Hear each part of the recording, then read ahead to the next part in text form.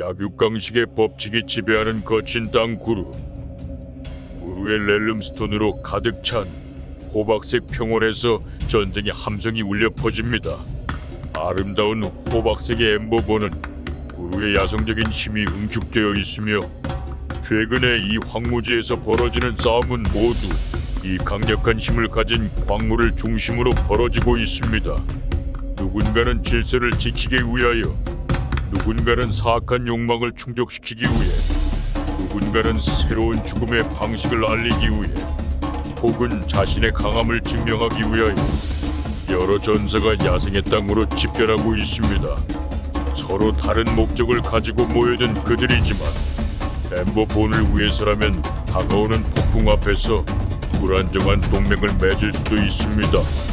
전쟁의 북소리가 울려 퍼지자 야수의 렐름이 다시 한번 고요합니다.